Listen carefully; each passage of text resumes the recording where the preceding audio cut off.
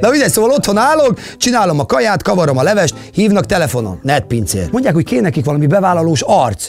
Ez lennék én megint. Akit meg tudnak... Ö, a lényeg az, hogy azt mondja nekem, a srác kéne egy bevállalós csávó. Ez lennék én. Akivel meg tudják lepni a vásárlóikat. Mondom, oké, okay, de hát ez nincsen ingyen. Mondtam nekik egy szemmel látható jó összeget. Azt mondták, elsőre. Yeah! Szóval a lényeg az, hogy sok a melóm, de bevállaltam. Egy. Ha mindent összeadunk, egy, mindent össze. Már ott elfejtettem az egynél. Egy. Egész nap motorozhatok, ide-oda járkálhatok a városba. Kettő. Találkozhatok a rajongóimmal. Három. Te vagy az én párom. Az kur... elfelejtem a hajam. Kicsit kiszellőzök, azért azt kéne most. Mondjad, hogy szellő, szellő.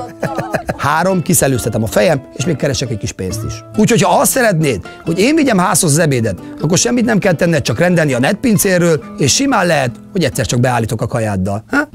Jó, jó, bocsánat, mennem kell. Jövök már!